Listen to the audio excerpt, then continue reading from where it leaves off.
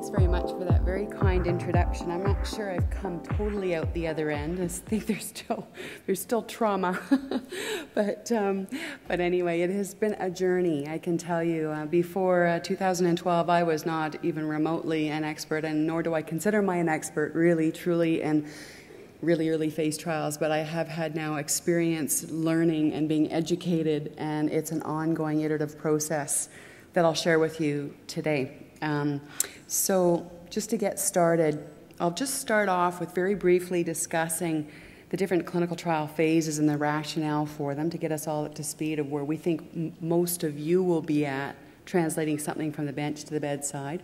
And then I'm going to drill down and really start to focus on, on phase one, very basic trial design principles because again, I think that's where the vast majority uh, in the room will be at. And then I'll use our CISS trial, our phase one CISS trial, as sort of a clinical design template to take you through some of the considerations that we used when we were uh, in the design, uh, the design phase for that study. And then Josee is going to talk to you a lot more about the regulations and the actual CTA submission to Health Canada. Okay, so the clinical trial design really truly is influenced by the developmental, uh, the developmental phase of a given intervention. So let's just say we think we've got all that preclinical data, we've got adequate rationale and, and, and safety data as well in our preclinical studies to justify going forward to now a trial, a first in human trial. Um, so, really, what you need to do, the first thing you need to do is a phase one study. And these studies are really, really focused on evaluating safety. You've heard the words a few times safety. It's safety, safety, safety, because they're going into humans and it's a big, it's a big deal. In these trials, you also try to, to determine the optimal dose so that when you go forward to a, your second trial, really, which is a phase two trial, then you can start using that dose to say, hmm, are there hints at clinical efficacy? Are there hints where the outcomes in my patients are improved compared to the control group? And these are typically more surrogate outcomes of efficacy rather than definitive outcomes. So, definitive outcome would be something that we use in a phase three trial. Um, a definitive outcome would be like death the problem is that we don't use death as a, as a definitive outcome in a phase two trial because a death outcome requires typically hundreds to thousands of patients and a couple hundred million dollars potentially in a, in a regenerative medicine trial.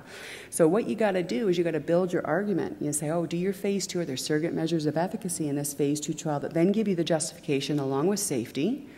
To then go forward to a phase three trial. Now, phase two and phase three trials are randomized, typically randomized controlled trials. And the reason Dr. Liu explained very nicely that we use randomization, where we randomly allocate a patient that meets your eligibility criteria to the intervention versus the control group. The reason we do that is, is to prevent imbalances between the two groups. And then by and you accidentally saying, "Oh, I think the intervention's great because my patients did better in this group."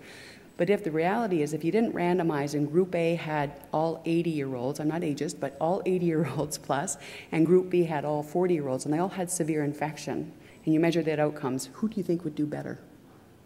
probably not the 80 year olds, right? I think we can all sort of come up with that conclusion. So, randomization is a process whereby you balance those important baseline characteristics between those two study groups so that you can actually do fair comparisons.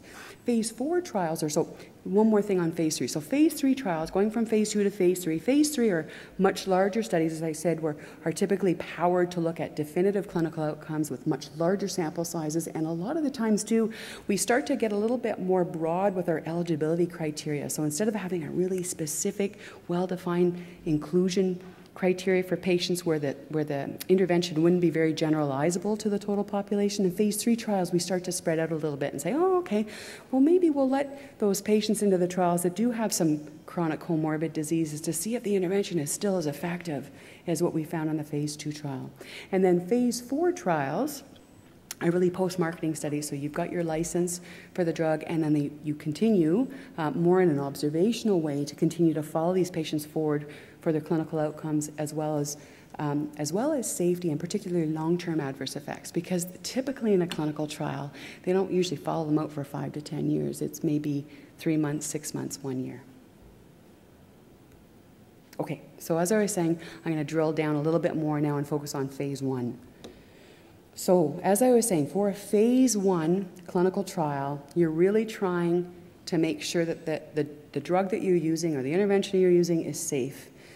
In some respects, you're trying to understand as well how, the, how that drug affects the human body. And sometimes you'll, you'll actually look for little surrogate measures of efficacy, but we know darn well in a phase one trial with a very small sample size, without an adequate control group, without randomization, that inferring cause and effect in that context is extremely difficult and very limited. But if you see some positive signals, it sort of gives you that impetus to say, yeah, I'm ready now to go to phase two. The patients for these trials, um, sorry, and the other thing I wanted to mention is that in a phase one trial, they're typically a dose escalation design, which I'll explain a little bit more in a minute. And you continue to escalate your dose until you reach some form of predefined dose limiting toxicity. The patients that are eligible for these phase one, first in human trials, typically have no, either no known effective treatment or they've tried all other treatments first and there's no further treatments available for them. And so their, their outcomes without that further new treatment would be very poor. So that's kind of the, the, framing for these phase one trials. There may or may not be a control group, and more on that in a little bit. And as I was saying, the, the sample sizes are quite small. Okay, so population. When you're starting your clinical trial, and you're selecting your patients for your clinical trial. Your patients should be at high risk for the, out, the ultimate outcome for phase two. Because you're always thinking, somebody else was saying, you're always thinking, what's the end game? What's going to be the next phase? So, what, is the, what are the clinical outcomes in this study that you're going to be aiming for and are the patients that actually that you're enrolling will they actually have the opportunity to have a clinical outcome? So for example in our in my sort of domain where we study severe infection called septic shock if i was to enroll patients that just had sepsis and i had mortality as my outcome those patients wouldn't likely there's very few patients that would actually get that outcome of death just as, as in a control group because they're not sick enough so you need to think about who the patients are that you're enrolling. You also need to think about you know, patients that would potentially be harmed by the treatment. So, who are the patients that wouldn't likely stand to benefit from the treatment? So, for example, if I have somebody with septic shock and that patient has lots and lots of long term severe comorbid illnesses, severe coronary disease, severe valvular disease, severe liver disease, the likelihood that that patient will die from their underlying illness that now has an infection is extremely high, and the likelihood that you'll be able to benefit that patient from the intervention that you're employing in those early phases is, is pretty darn unlikely. So you need to think about that as well. Also, in your patient population, you have to balance this with, hmm, I'm to I'm to define my patient population, but I need to be able to recruit patients into it. I knew that was to happen.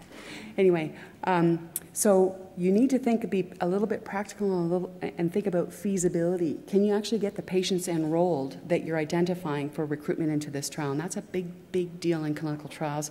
Clinical trials fail due to failure for recruitment. So it's about doing your homework. Okay, so the dose part, the dose escalation part. So start safe, and we'll go through we, the criteria that we use in our CISS trial to, to come to what was the safe starting dose for the dose escalation um, study. Minimize, the principle is to minimize the number of patients that are treated at a low or subtherapeutic doses and escalate rapidly in the absence of toxicity and then slow down if you do have presence of toxicity. It doesn't sound like rocket science, does it? But it's just keeping those principles in mind because the, the idea here is that you want to, to get to an, an, opt, an optimal dose for use in a further phase three or phase two trial but um, you want to get there as efficiently as possible because you don't want to expose a whole, like a thousand patients to subtherapeutic doses and take 10 years to do so because that's not ethical either. So you have to balance the benefit and the risk as you're going along. And this is, this is challenging. So, fundamental questions to answer in phase one trials are really to identify what that dose limiting toxicity is, that then helps you determine what the maximum tolerated dose is to use in your phase two trial, and at least not so much in MSC or mesenchymal stromal cell trials, but we try in, in many phase one um, uh, trials to assess drug metabolism and clearance. But I put a big question mark here for MSCs because, to be honest, we don't right now have a really good method for actually uh, assessing MSC persistence in the vasculature over time. So it is a challenge, and there are many folk that are working and thinking about this that needs to be developed into the future. Okay. So then for dose, you start saying, oh, okay, well, what dose should we start at? How should you escalate it? How many patients should be at each dose? How do you define dose limiting toxicity? And then how do you define the maximum tolerated dose in your, in your phase one trial? So, dose limiting toxicities are, are toxicities that either due to their severity or their duration are considered unacceptable and limit further dose escalation. And it can also be that toxicity that aborts your trial. These dose limiting toxicities need to be advanced and discussed well in advance of starting your clinical trial. We spent a lot of time on this.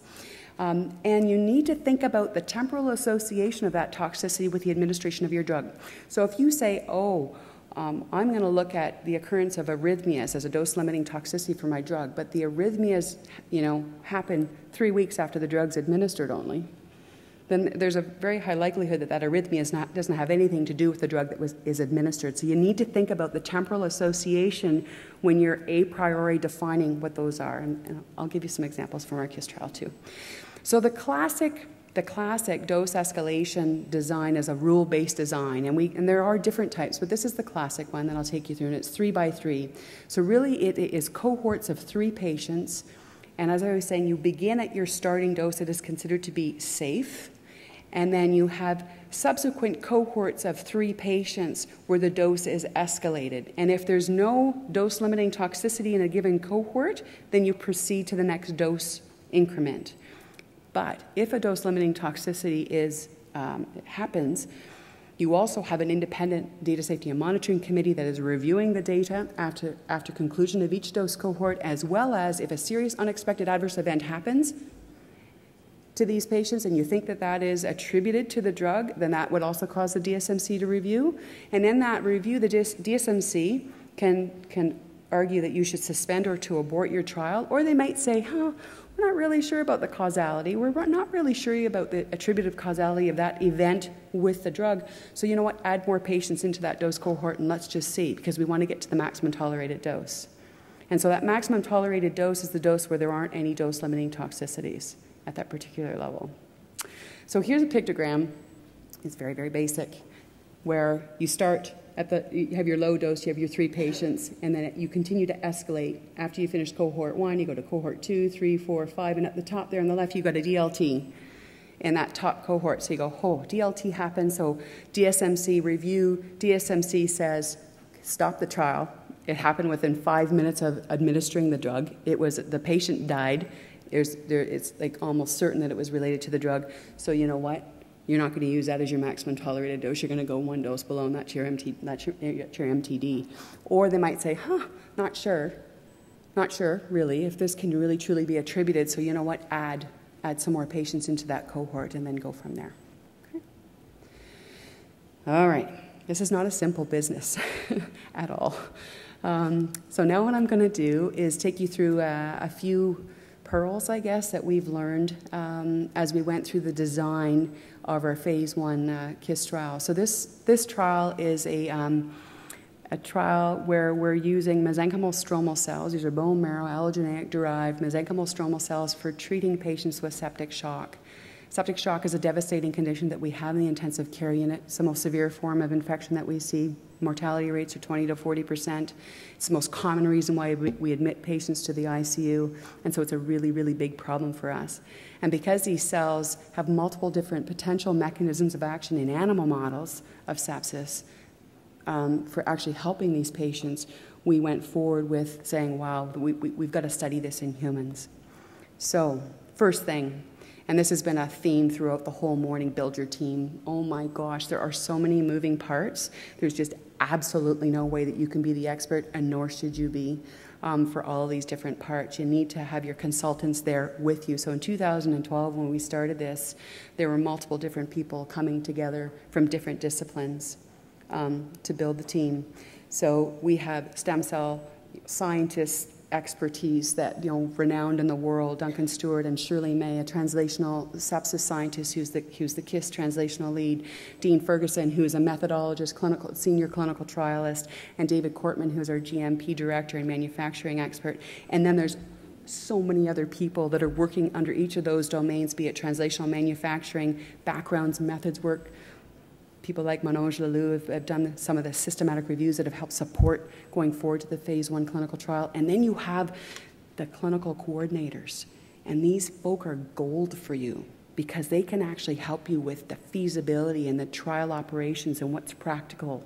Sometimes a coordinator come to me and say, "Well, Orlin, that doesn't make any sense." Trying to include that type of patient because you'll never get them. Like, who are you kidding? That type of thing. So, they can really help you with those uh, with those granular bits in the trial design phase. So for our, our design, when we were first thinking about this, because the, these cells had never been given to any humans with septic shock, we, although there had been a, a number of trials that had, that had given MSCs for uncontrolled as well as controlled clinical trials, we said, you know what, we need to, um, we need to start with a phase one dose escalation trial for sure. And we also said because it was such a highly experimental intervention, there was no way we were going to give these cells to healthy volunteers because we really didn't have any established long term safety profile.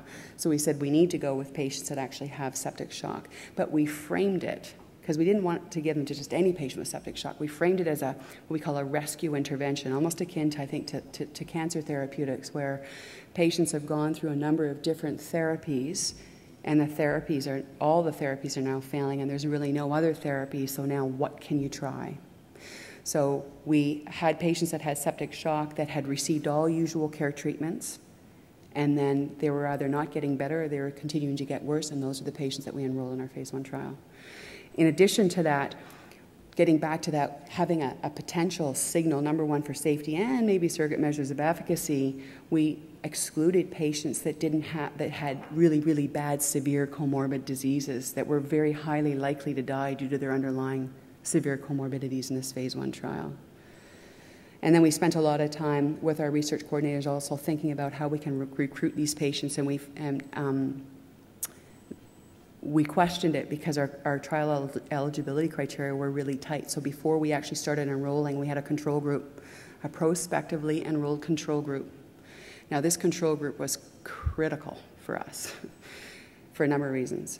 Not only did it give us experience enrolling the patients into this control group that met our CISS eligibility criteria, it also gave us experience collecting adverse events because adverse events in septic shock happen just every day because the patients are so incredibly ill. And in our context, and I think in many, in many contexts, it's important to have that control group to compare the adverse events in your interventional group because these are regulated trials. These are very early phase trials, and so you have to have a feel for how common are these adverse events just by virtue of the patients being very, very sick. It also gave the opportunity for us to train the DSMC committee before the interventional arm started so they had a feel as well for the occurrence of these adverse events in this patient population that we were going to enroll. Oh, and I haven't even talked about the MSC intervention, and that we could go on for a day about that. But just very, very briefly, the whole GMP. When you when girls were talking about this, I was like, oh, it's, it's so daunting, and what you do is amazing, and yeah, what they do at the OHRI as well. David Corbett in the lead is is amazing. Um, but but we won't go there today because there's just too much other stuff to discuss. But we needed to think about what what was our cell source we went with bone marrow because at the time, bone marrow, uh, MSCs, uh, at least for preclinical studies, were the, the most well studied cells. Um, and then there was that whole fresh versus cryopreserved. We use a fresh cell versus a cryopreserved. And we went with fresh for the phase one trial because at the time there were pretty strong data that suggested that cryopreserved cells didn't work. Since that point, though, there's more data actually being published now that there's that that is not a black or white issue, and that there's probably a lot more. It's probably a lot more to do with how the cells are handled and processed and thawed, with regard to their potency. And so, and, and having a cryopreserved product, as you can imagine, in a much larger trial that involves patients from across geographic country, would be really, really important. But for phase one, we went with, went with fresh.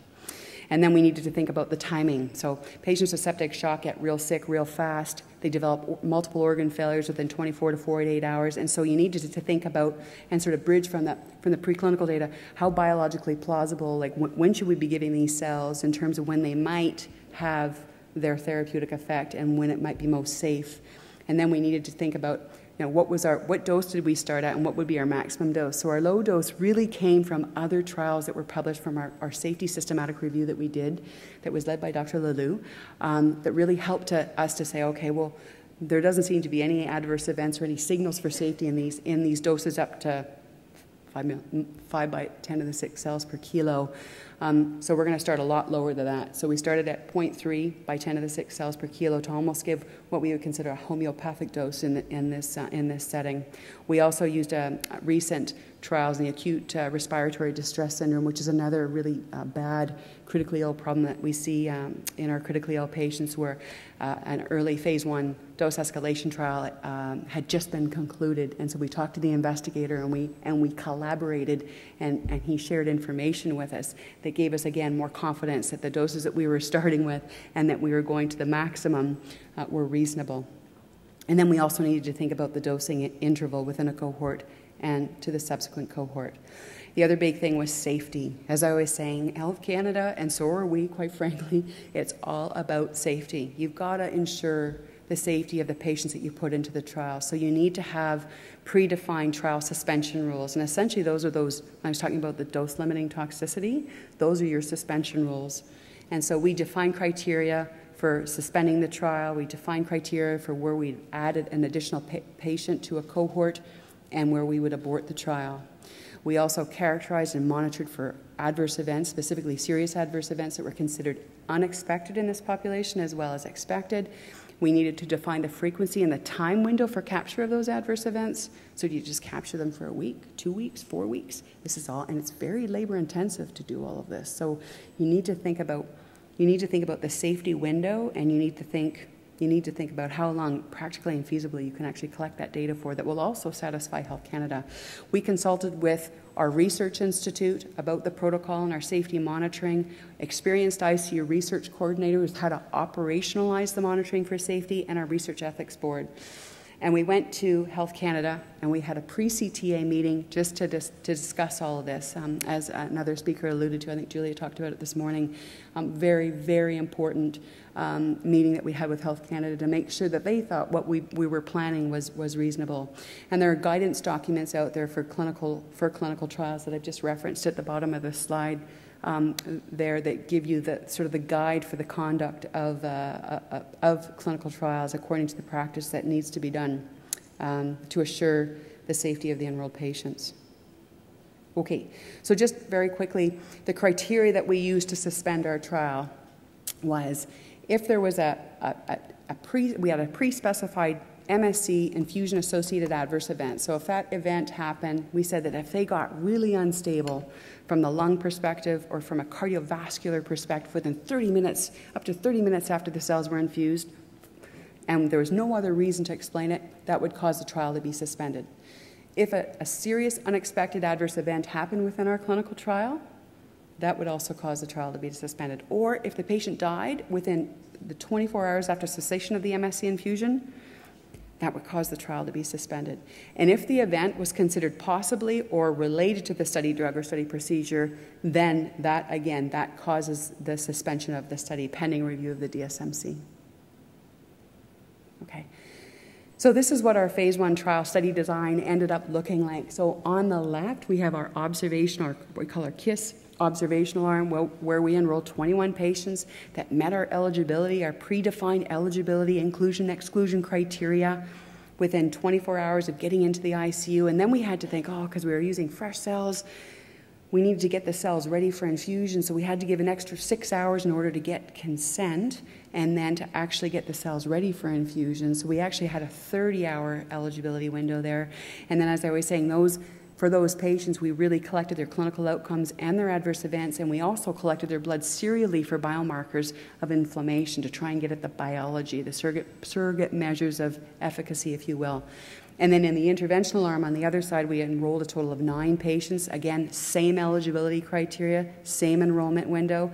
After consent was obtained, we had an extra measure of safety in there, in that they had to meet pre specified monitoring parameters for saying, they are stable for this hour in terms of their lung and their, and their cardiovascular system before we put them in. If they were continuing to deteriorate and fall off the cliff, we wouldn't put those patients into the trial because it was just way too high risk in order to get them enrolled. And then we had the three different dose cohorts that escalated from 0.3 then to 1 to 3 by 10 to the 6 cells per kilo with a DSMC review panel after each cohort, or if one of those serious unexpected adverse events occurred within the clinical trial that was attributed to the study drug or study protocol. And then we, we, we came up with our maximum tolerated dose for our phase two trial on the basis of the high dose and the absence of any dose limiting toxicities, i.e., criteria to suspend the trial. That has given us the impetus to go forward to phase two. We're really happy to say that we just had that paper published last week, yay, um, in, the, in the, um, the American Journal of uh, Respiratory and Critical Care Medicine. And um, it's given us the confidence and the impetus to now go forward to a, a much larger phase two, multi center Canadian randomized controlled trials that now is starting to look at those surrogate measures of efficacy and continuing to evaluate safety as we move this, uh, this therapeutic through the pipeline. And I want to thank um, the OIRM, Stem Cell Network, and, the, and, and CIHR for providing funding to get this trial up and off the ground.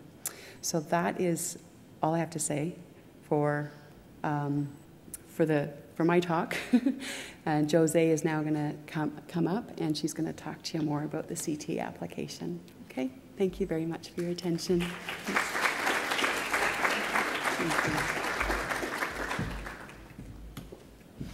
So, good morning, everyone. I know I'm the last speaker before your lunch and the last one in the session. So, a little bit of a disclaimer is I am up here and I'm neither a scientist nor um, a physician, but um, I am here to talk to you about regulation. So if you can bear with me for the next 10 minutes or so um, as we review a few of these things.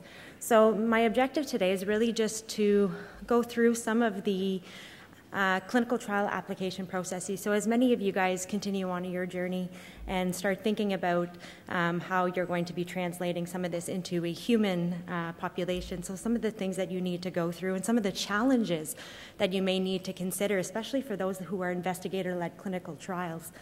So, um, Health Canada, when you are going through Health Canada, the expertise or the, the, the rigor in which they're going to review your application is going to be the same for you coming, if you're coming from an academic center, as it would be for somebody coming from an industry led um, place. And I think that adds some challenges um, as, as you move forward. And I'd like to review some of those and again, using some of the examples that Dr. McIntyre has talked about. So we're going to go through the processes and then use some of the, uh, the, the examples as they relate to CISS. So the first thing really, and I don't know how many of you guys have ever thought about going to Health Canada, but how do you know? How do I know that I need to submit an application to Health Canada? Well, the first thing is if your research involves a new therapy, then it may need to go to Health Canada. But, well, it does need to go to Health Canada. So, those, those again are going to be your phase one and your phase three trials. If you're doing a phase four, which is post surveillance marketing, um, surveillance, it does not. Um, so, does the research use a product or therapy, in our case, cellular therapy, that has been approved by Health Canada, but is going to be tested for a new indication in a different patient population, different formulation and/or combination, or a new route of administration? If all of these is yes, then an application must be submitted to Health Canada. So all the clinical trials, all clinical trials in Canada are subject to Division 5 um, and this is a Health Canada food and drug regulation, and it is in compliance with a good clinical practice um, as defined by the International Conference on Harmonization. All of these regulatory processes um, apply to any sponsor who is planning on conducting a clinical trial in Canada. So now we've determined that we definitely do need to go in and uh, put our CTA in.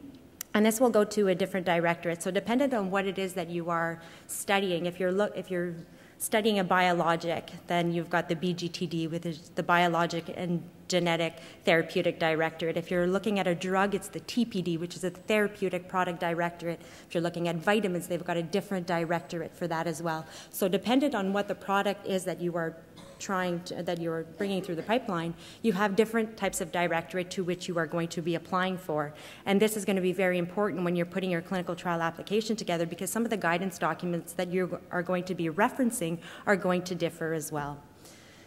All of the clinical trials that are governed under the Health Canada applications as well. So you are going to receive what we call as a no objection letter. So that's what we all aim to get, but there's also a non-satisfactory letter, which, which nobody wants. So in this NOL, which is how we deem it for short, is where you're going to find the directorate to which you are going to be reporting. So just because you did go, you applied to the TPD, um, they, they, may say yes, TPD, but you're also going to be responsible for reporting to the, the, the Natural Health Product Directorate as well. So in that NOL, all the applicable regulations that you must follow are going to be explicitly detailed. Furthermore, and I know this isn't really the the, the, the, topic that I'm talking about, but I think it's important to consider as you're moving through and developing a lot of these documents is that not only do you need to abide by these guidelines, but there's also the guidelines that we have at the Research Ethics Board level. So these are mostly the Tri-Council, pol- uh, Tri-Council policy, which is an ethical guideline that is used when you're conducting research in humans. So you're applying all your Division 5 guidelines, you're applying your TCPS, and, but you're also having to consider what your local uh, regulations are, as well as any provincial um, privacy laws. So all of these need to be considered and need to be implemented into all the documents that you are going to be generating for the conduct of your trial. So this is just a very broad outlook of what the clinical trial application looks like. It is composed of three different modules. You've got your module one, your module two, and your module three. And it's really hard to do, and I, I, I, feel like I've simplified it a lot over here. And I just want to share a little story with you guys. So I'm coming off the heels of doing it. My, my expertise has been mostly in large phase three clinical trials, um, multi center, international. Um, and this, and Dr. McIntyre had approached me a few, uh, about a year ago now, and knocked on my door and asked me if I would be interested in doing a phase two 114 patient trial.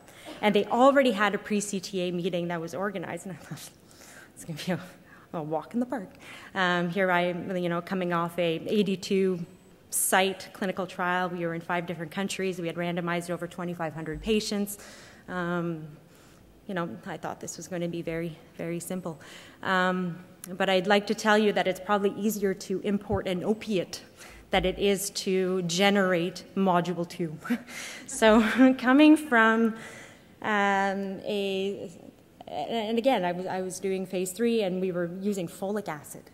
Um, so folic acid, the, the investigator brochure, well, it, it, did not exist, but they had a product monograph. So I was able to use that. So module two never really existed for me before. So when she had approached me and said, Oh, we're doing all this, I was like, Fantastic. But then I looked at the module two, and I was like, Oh, it's, it's not going to be that hard. It's 11 pages long.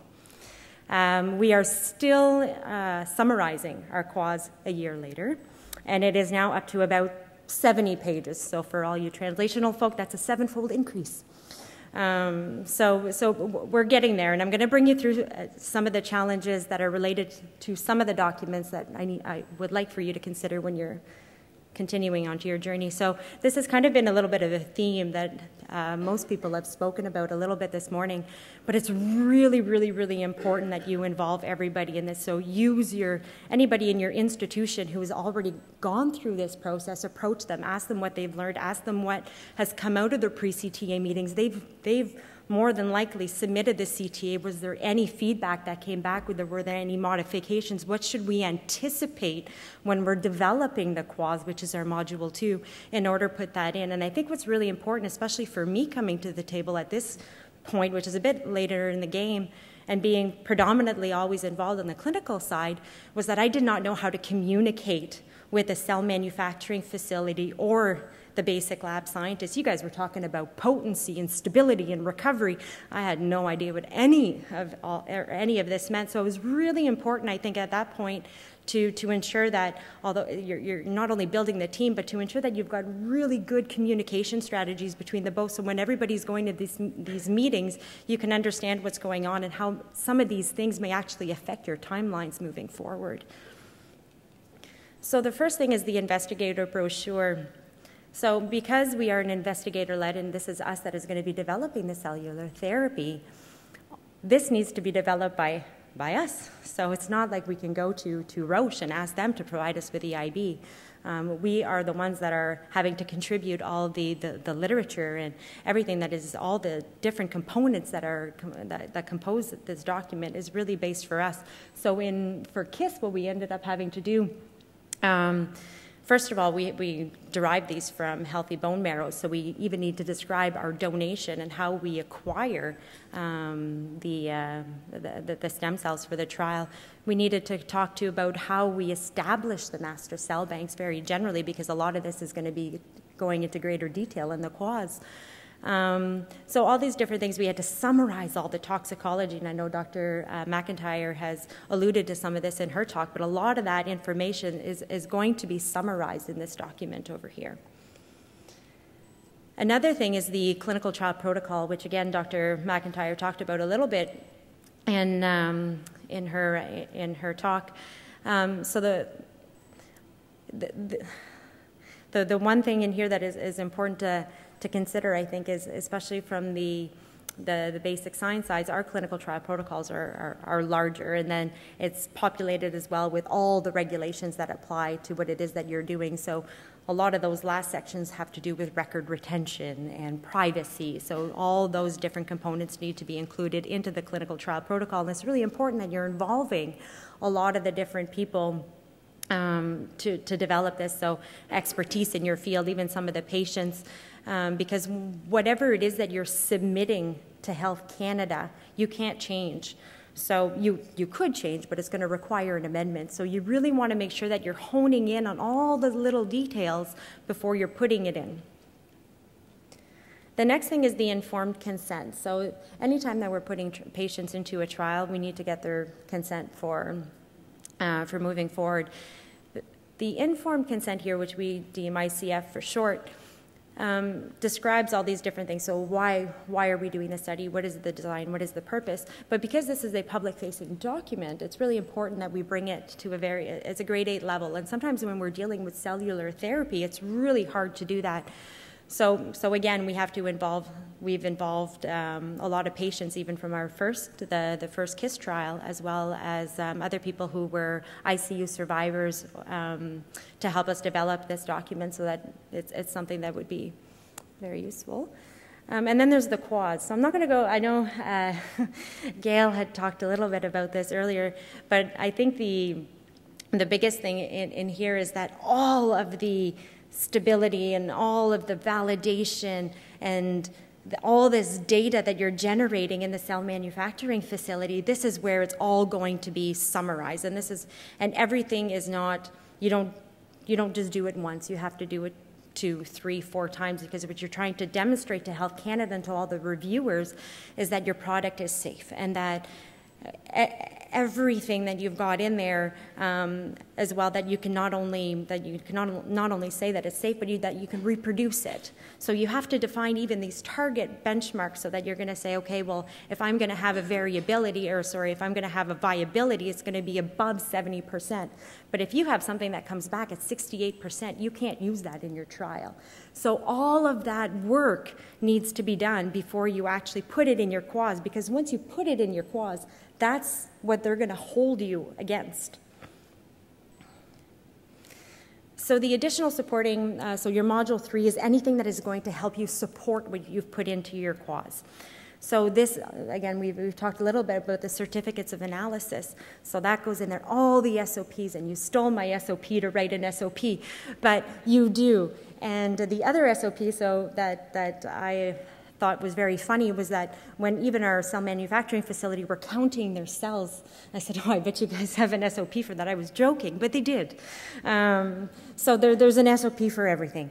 Um, and uh, just a little thing uh, about the, the letter of access one of the media, uh, one of the re- media reagents that we're using in our CISS trial, they didn't even have what we call as a data master file with Health Canada. So this added some complexity to what we needed to do and something that we needed to get done even before thinking of going into Health Canada. So what a data master file is is generally um, so that the, the, company who owns the media would have normally had put this into Health Canada so that when we're putting in our, um, our application, we can reference that data master file. And this is kind of part of the whole certificate analysis. So they're not going to obviously give us their formulation for how they're making their media. But we, as sponsor in Health Canada, as the, the, the person who's going to authorize this, needs to ensure that whatever is included in that media isn't anything that could be harmful, but they're not going to share any of their IP with us. So then we had to work with this company in Israel to submit a data master file to Health Canada before we can even contemplate putting in a, um, a CTA, because in our CTA application, we now need to reference the DMF. So we had to work with them for a few months, um, and then we had to orchestrate many teleconference calls between ourselves and Health Canada to ensure that this was being put in place. And then there's the site feasibility. Um, so, so I, this one I, I, think is really funny because as, as a coordinator who works a lot in clinical trials, I've had investigators come to me many times and say, oh, Joe, he's going to be great in our trial. We went to school together and we just had a beer in Berlin and he can get lo- lots of patients. The problem is, is that when the investigators are asking these questions and they're, you know, gathering all their, their colleagues and their beer buddies, they, they're, they're not asking the specific questions. And the reason I ask that is because now in cellular therapy, when we're moving forward with our trial, it's not so much as asking, oh, do you have the facility to store our clinic? Do you have the facility to store the MSCs? Of course they do. They're going to say, yes, I do. But what I want to know is, is it dedicated? Is there anything else in that dewar? Um, is it monitored? Is the temperature monitored? Because that's something that we need to do for, for Health Canada. Um, in the event of a shutdown or electrical problem in your facility, what, what are the backup regions? So there's, there's all these different things that, that, that we need to know that we need to specifically ask. And of course, because in order to support the clinical trial as well, we need to write an SOP on it.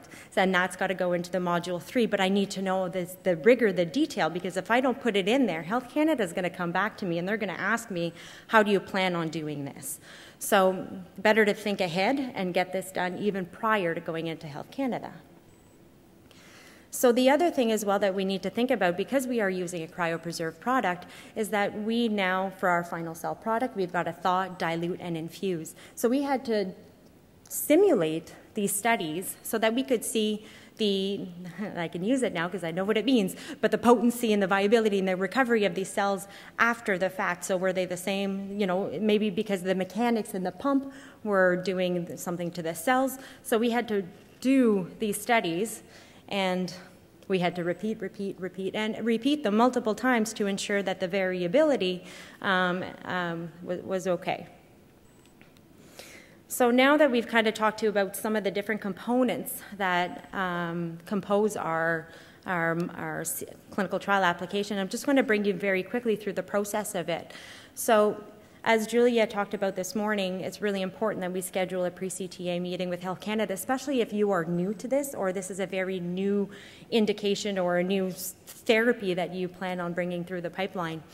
Um, and you can schedule as many as you want. For instance, in, in CISS, we did two. We, we separated out, we did one for the clinical, and we wanted to really talk to them about our approach to the safety and if that was okay. And then we, we held a separate one for the manufacturing as well.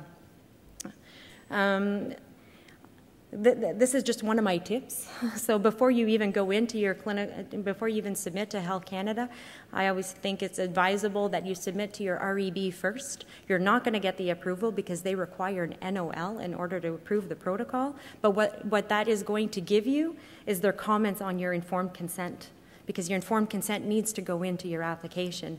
And they are I, I have I've been doing this for over 15 years, and I've never not once had the REB come back to me and not have any changes on the ICF. So better to get those changes in, so that once you do get your NOL, then you don't have to go back in with your revised ICF. So better to get them first, and then uh, use their uh, their feedback to again help support your clinical trial application. So then you're going to submit the CTA, and within 30 days you're going to get the NOL. But somewhere between the 21 and 28th day, you're going to possibly get some feedback or some questions from Health Canada. And you have 48 hours to answer them. No ifs, ands, or buts about that. You have 48 hours. So it's always best to put as much information as you can in the quaz because if you tell yourself, oh, I don't need to do this, we're going to deal with it later, well, later is going to come quick and you have 48 hours to deal with the later. So better to put it now and to, to make sure that you've got all those logistics lined up. Um, and then you can begin your recruitment after you've received REB, of course. Um, so that's, that, that, that's all I have today. And this is, well, I'm not a basketball player, but I've always, I live by this quote. So uh, talent wins games, but teamwork and intelligence wins championships. So thank you for listening.